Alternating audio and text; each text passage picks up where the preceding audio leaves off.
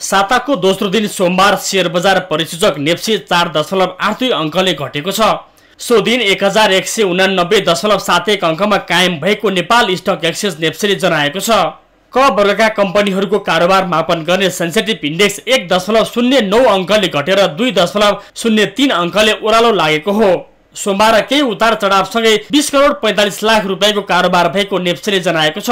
कारोबारमा आएका दस उपसूचकहरूमध्ये होटल र विकास ब्याङ्क बाहेक अन्य सबै समूह घटेका छन्।